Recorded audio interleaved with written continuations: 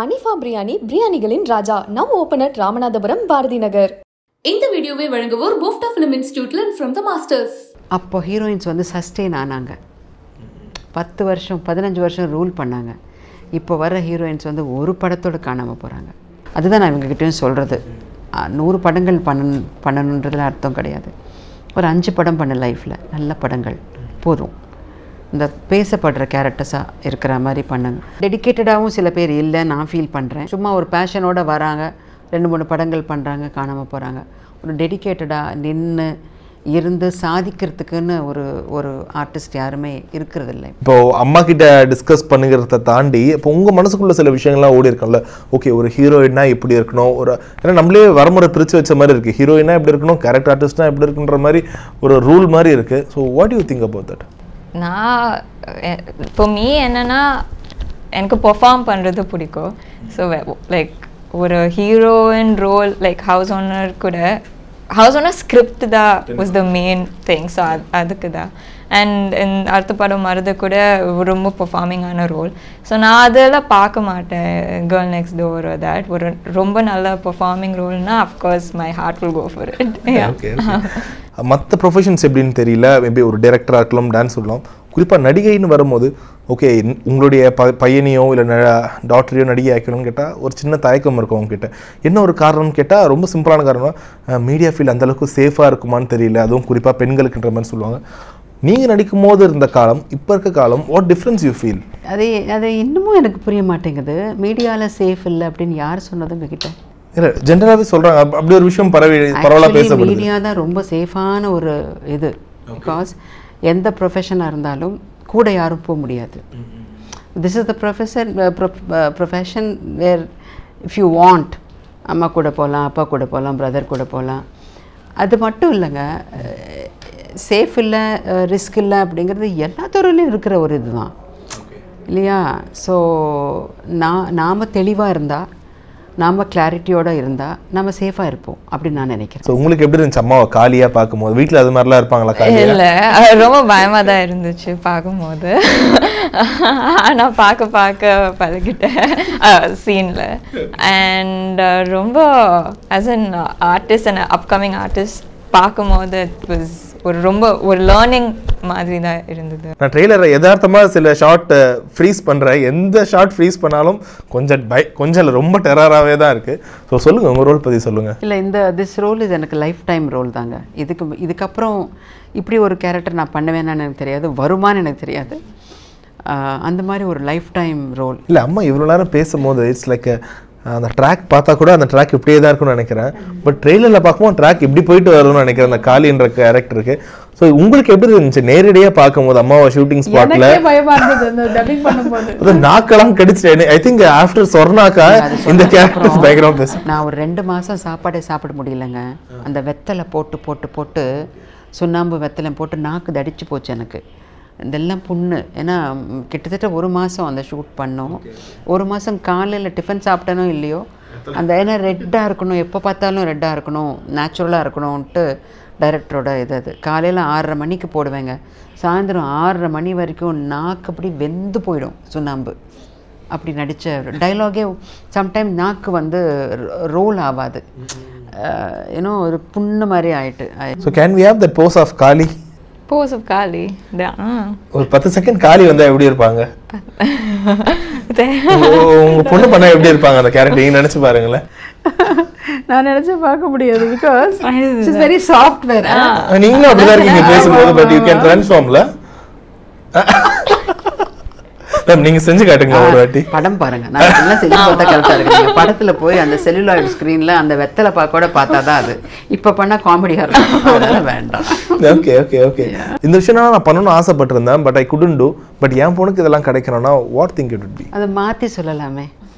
என் வாழ்க்கையில் கிடைக்காத என் பசங்களுக்கு கிடைக்கணுங்கிறத விட எனக்கு கிடைச்சதெல்லாம் என் பசங்களுக்கு கிடைக்கணும்னு நான் நினைக்கிறேன். ஸோ உங்களுக்கு யோ கம்ஃபர்டபுள் வெரி கன் கண்டென்ட் அதாவது திருப்திங்கிறது வேணுங்க.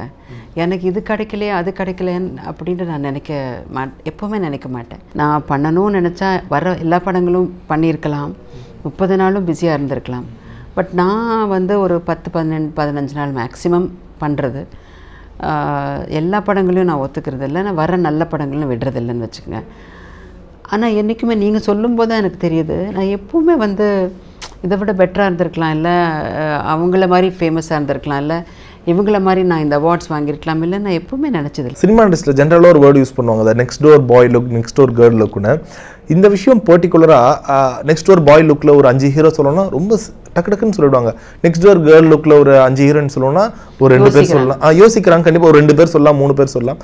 இந்த விஷயம் ஏன் நடக்குது நீங்கள் நினைக்கிறீங்க? இறக்குமதி. பாம்பே ஆர்டிஸ்ட் இந்த நார்த்துலேருந்து வர ஹீரோயின்ஸ் இவங்கெல்லாம் இருக்கிறதுனால நிற்க மாட்டேங்கிறாங்க மனசில். எப்படி அது எப்படி நெக்ஸ்ட் ஒரு கேர்ள் லுக் வரும்?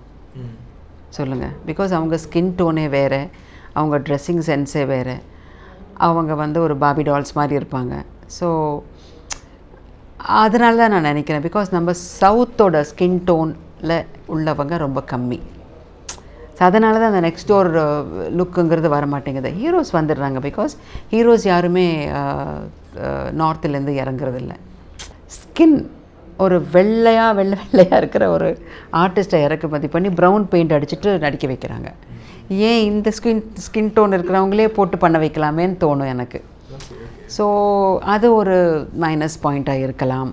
அது மனசில் நிற்காதது காரணமும் அப்படி இருக்கலாம். ஸோ அப்படி இருக்கும்போது வந்து உட்காரல. அந்த அந்த நார்த்துலேருந்து வர்ற கேர்ள்ஸ் வர்றதுனால அது ஒரு கிளாமர் பீஸாக தான் அது தோணுதே தவிர நெக்ஸ்ட் ஒரு லுக்குங்கிறது நெக்ஸ்ட் ஒரு லுக்குன்றது நம்ம நம்ம தமிழ் பெண்களை போட்டால் தானே அது நெக்ஸ்ட் ஒரு லுக் வரும். இல்லை என்னைக்காச்சும் ஃபீல் பண்ணியிருக்கீங்களா ஏதாச்சும் கேரக்டர் உங்ககிட்ட இல்லை ஏதாச்சும் ஒரு கேரக்டர் உங்ககிட்ட சொல்லியிருப்பாங்க நீங்கள் சில காரணங்களால் அதை வேணான்னு சொல்லியிருப்பீங்க பட் வேற யாராச்சும் பண்ணியிருப்பாங்க அவங்க அதை ஜஸ்டிஃபை பண்ணியிருப்பாங்க இருந்தாலும் உங்கள் மனசில் இருந்திருக்கலாம் ஓகே நம்ம ட்ரை கொடுத்துருக்கலாமா அந்த மாதிரி. நான் மிஸ் பண்ண கேரக்டர்ஸ் இருக்குது ரெண்டு மூணு இருக்குது ஆனால் நான் ஐயோ மிஸ் பண்ணிட்டேன்னு நான் என்றைக்குமே ஃபீல் பண்ணதில்லை. சொல்லாமா அது அது என்ன maybe she deserves it you know அவங்களுக்குன்னு தான் எழுதப்பட்டிருக்காது.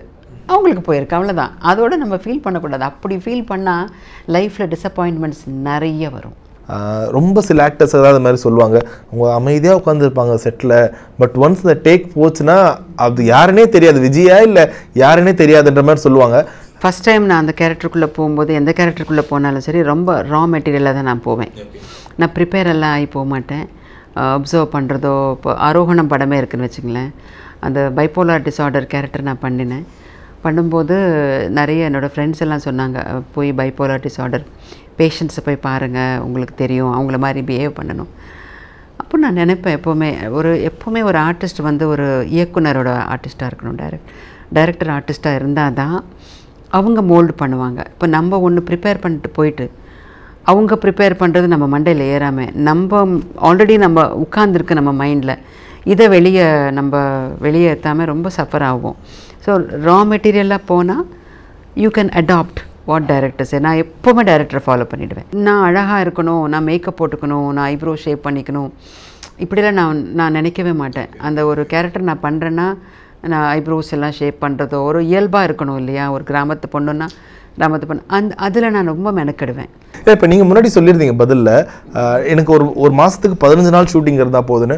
ஸோ என்ன நிறைய படங்கள் வந்து உங்களுக்கு கேரக்டர் அதுக்கேற்ற மாதிரி நிறைய தவிர்ப்பீங்களா? இல்லை ஆமாம் because first of all it should அந்த அது அந்த மாதிரி ஒரு கதாபாத்திரம் என்ன என்ன அட்ராக்ட் பண்ணணும். இது நான் கண்டிப்பாக பண்ணி ஆகணுன்ற ஒரு ஃபீல் எனக்கு வரலன்னு நான் பண்ண மாட்டேன். அது எவ்வளோ பெரிய கம்பெனியாக இருந்தாலும் எவ்வளோ பெரிய பேயாக இருந்தாலும் I don't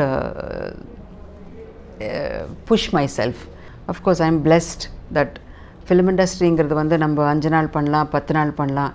nine to five job பண்ணுற hats off to all the women thirty டேஸ்க்கும் ஆஃபீஸ்க்கு போயிட்டு வரவங்க இருக்காங்க பாருங்கள் it is not easy women are multitasking it is not easy நான் எப்படி தான் தேர்ட்டி டேஸும் எவ்வளோ கஷ்டம் தெரியுமா? ஏன்னா it is not easy I salute all the women who work for thirty days என்னால் பத்து பன்னெண்டு நாளுக்கு மேலே பண்ண முடியாது. ஓகே ஓகே ஓகே அட இப்போ உங்களுக்கு இப்போ நீங்கள் முன்னாடி உ- நீங்க சொன்ன பதில்கள்லேருந்தே தெரியுது யூ ஆர் நாட் எனக்கு இதுதான் பண்ணிடணும் இந்த மாதிரி கேரக்டர்ஸ் பண்ணணும் நீங்கள் அந்த டைம் டேபிள் போட்டு எதையும் பண்ணுறதில்ல கரெக்டாக வர்றது பண்ணணும். பட் இருந்தாலும் உங்கள் மனசில் ஒரு விஷயம் இருக்குல்ல ஓகே இந்த மாதிரியான விஷயம் ஏன் யாருமே என்னை கூப்பிடலைன்னா என்ன ஒரு விஷயம் சொல்லுவீங்க? இந்த மாதிரி ஒரு? இந்த மாதிரி ஒரு கேரக்டருக்கு ஆ, ஏன் அப்ரோச் பண்ணல? மைண்டில் அது எனக்கு அது ஒரு ஒரு ட்ரீம் ப்ராஜெக்ட் மாதிரி எனக்கு அது ஒன்று ஒன்று இருக்குது ஒரு வாய் பேசாத ஒரு காது கேட்காத ஒரு கேரக்டர் பண்ணணும்னு ரொம்ப நாளாக எனக்கு. ஏன்னா அது ஒரு பெரிய சேலஞ்ச் அது. அது டைலாக்ஸில் ஒரு பாடி லாங்குவேஜில் நம்ம வெளிப்படுத்துறது ஆக்டிங் ரொம்ப ஈஸி நான் ரெண்டு விஷயங்கள் வந்து ரொம்ப கஷ்டம்னு நான் நினைப்பேன். ஒன்று காமெடி இன்னொன்று வந்து இது இந்த வாய் பேசாத ஒரு கேரக்டர் பிகாஸ் ரொம்ப டிஃப்ரெண்ட் ரொம்ப டிஃபிகல்ட் டாஸ்க் அது. எஸ்பெஷலி பேசாமல் யூனோ அந்த உணர்ச்சிகளை வந்து நம்ம வெளிப்படுத்துறதுங்கிறது பெரிய சேலஞ்ச் அது எப்படி இருக்குன்னு தெரியாது. பட் அந்த மாதிரி ஒன்று பண்ணணுன்ற ரொம்ப நாளாக எனக்கு ஆசை. தேங்க்யூ ஸோ மச் மேம் நீங்கள் ரொம்ப ட்ரெய்லர்லேயும் சரி உங்கள் பேச்சிலையும் சரி அந்த சினிமா பற்றின புரிதலும் இப்போ பல பேருக்கு இல்லாத ஒரு விஷயம் உங்களுடைய பேச்சிலேயே அவ்வளோ அழகாக தெரியுது. So all the best for the movie. படம் பாருங்க. கண்டிப்பா இது தியேட்டர்ல போய் பாருங்க. Thank you so much for having us in this. Behindwoods Thank you, okay ரொம்ப நன்றிங்க. தேங்க்யூ அனிஃபா பிரியாணி பிரியாணிகளின் ராஜா நம் ஓபனர் ராமநாதபுரம் பாரதி நகர். இந்த வீடியோவை வழங்குவோர் போஃப்டா பிலிம் இன்ஸ்டியூட்ல ஃப்ரம் த மாஸ்டர்ஸ்